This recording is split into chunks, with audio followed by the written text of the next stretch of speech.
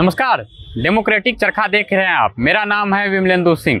One station one product जो कि भारत सरकार और आईआरसीटी के संयुक्त पहल के द्वारा वर्ष 2022-23 के बजट में इसको पेश किया गया है। जिसमें एक स्टेशन के लिए एक उत्पाद को, वहाँ के लोकल उत्पाद को चुना गया है और स्टेशन पे स्टॉल लगा करके उस उत्पाद को बेचा जाएगा। ऐसे में सुपौल स्टेशन पे हूँ और सुपौल स्टेशन में पिपड़ा का खाजा का स्टॉल लगा है। पिपड़ा की खाजा, जो आज़ादी से पहले से वहाँ पे खाजा बेचा जाता है। गौनी शाह शाह नाम के एक लोग आए थे यहाँ पे और उन्होंने यहाँ पे खाजे की दुकान शुरू की। पहले तो ये खाजा घी में बनाया जाता था, लेकिन धीरे धीरे परिवर्तन होने लगा और अब घी और रिफाइन में भी इस खाजा को बनाया जाता है।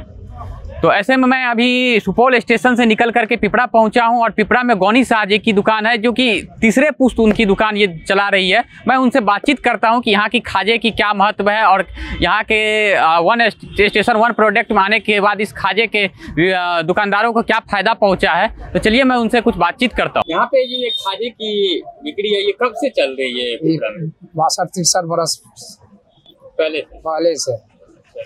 पहले शुद्ध घी में बनता था। अब रिफाइंड डालडा में बनने लगा रिफाइंड डलडा में बदलने लगा ऐसा बदलाव क्यों? आप लोग बदला मतलब इसलिए कि महँगाई हो गया ना अब लोग। महँगाई हो गया। घी नहीं उपलब्ध है पहले घी उपलब्ध था जनसंख्या कम था तो लोग घी का खाजा बनता था।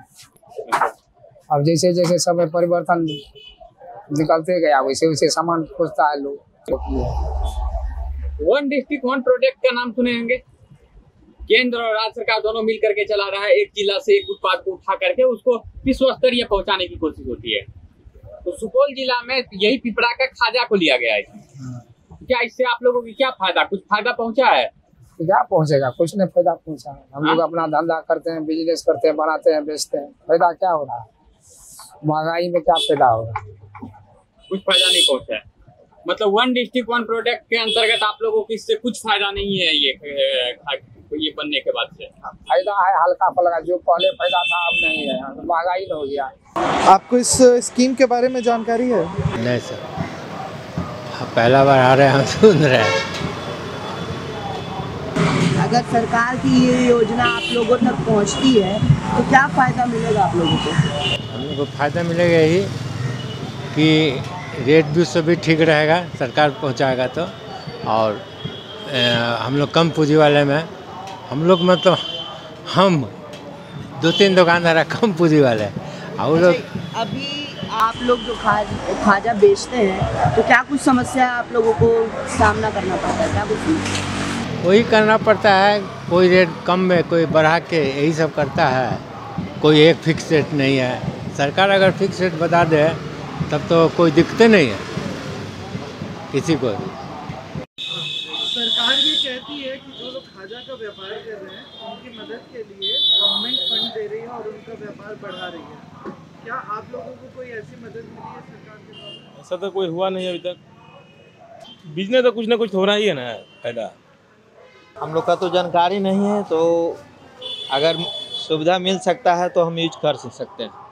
क्या अभी सरकार की तरफ़ से कुछ आप लोगों को सहायता मिलती है? कोई सहायता नहीं। कोई सहायता नहीं। महँगाई हो गया लोग खोजता है सस्ता में। जबकि एक सौ चालीस में कहता है एक सौ रुपये दीजिए।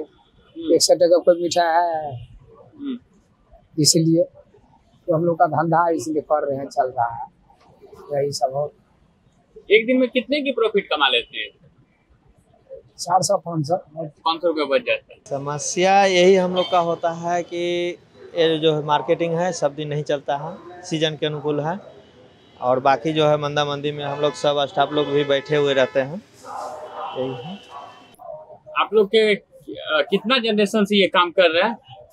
खाजे की बिज़नेस करीब लमसम समझिए ना पचपन बरस है।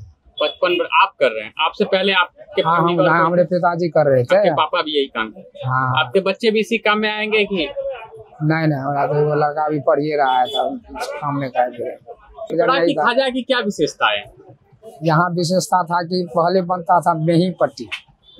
चौ सुनते थे बूढ़ पुराना अगर चौवन्नी देता था ना तो इस पार से उस पार हो जाता था खाजा में। अब वो मैदा नहीं रहा वो सामान नहीं रहा नहीं वो बनाने वाला रहा नहीं वो खाने वाला रहा। अब चाहिए लोग को कुरकुर। हम्म, गरम पहले गरम का प्रसिद्ध नहीं था प्रसिद्ध नहीं था। पहले ठंडा खाजा मुलायम हम्म, खास्ता अब चाहिए करगर कराकर या गरम। परिवर्तन चेंज हो गया।